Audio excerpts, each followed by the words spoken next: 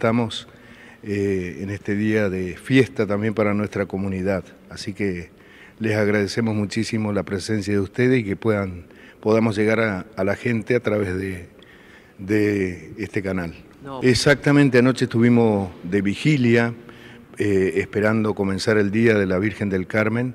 Eh, anoche tuvimos un concierto de arpa, eh, después adoración y oración y alabanzas hasta las 12 de la noche para recibir el día. Eh, patronal. Eh, y ahora dentro de un rato, a las once y cuarto, tenemos una caravana eh, con la imagen de la Virgen, caravana de autos, por todo lo que es la jurisdicción de, la parroquia del Carmen.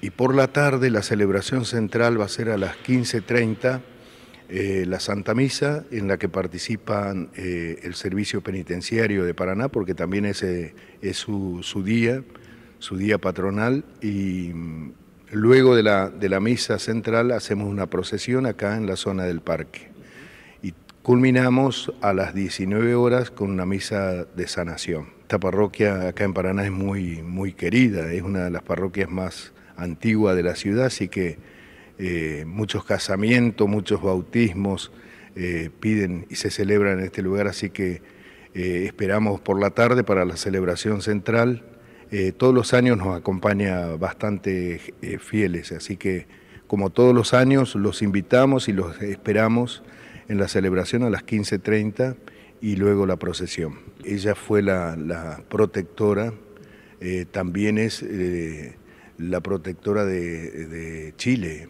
Santiago de Chile, ¿no? Nuestra Señora del Carmen. es una devoción muy antigua, con un fundamento bíblico es, eh, te diría que es la advocación de la Virgen María más antigua de la Iglesia. ¿eh? El signo eh, distintivo de la Virgen del Carmen, que no lo tiene ninguna otra imagen de la Virgen, es el santo escapulario que se entrega a los fieles este día precisamente, el 16 de julio.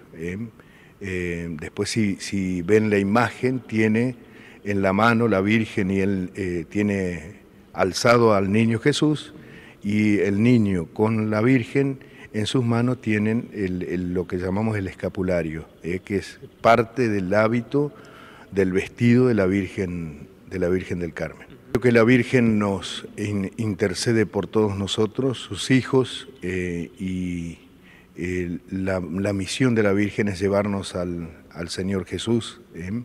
Jesús nos pide que nos amemos y que formemos comunidad y más que nunca en este tiempo tenemos que ser presencia eh, de la iglesia entre los pobres, entre nuestra gente y tratar de superar toda división, eh, eh, seguir construyendo comunidad.